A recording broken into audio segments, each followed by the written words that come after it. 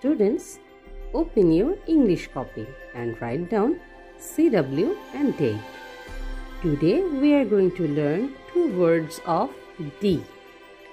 Before that, we already learned two words of A, B and C. Now it's time for alphabet D. Let's start with D. In the first column, I write D. Now I am going to write two words of D. We are going to learn D for dog, D for dog, D for dog, D for dog. What's the spelling of dog? There it is. D O G dog D O G dog Dog means cuckoo.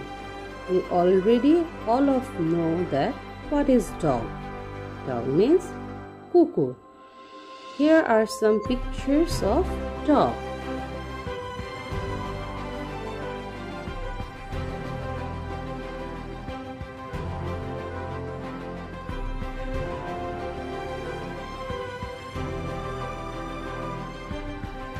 The next word is doll.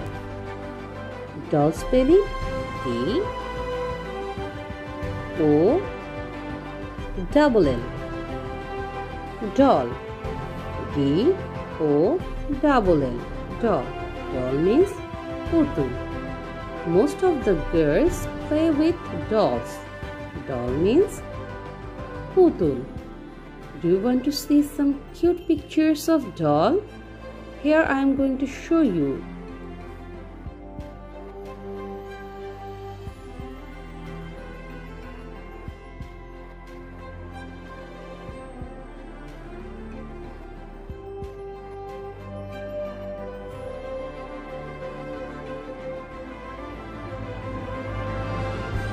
Now, students complete the full page and learn the words.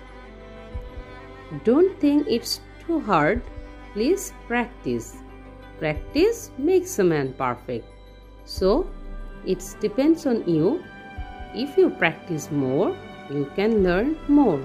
Now, it's for today. See you in the next class. Bye bye.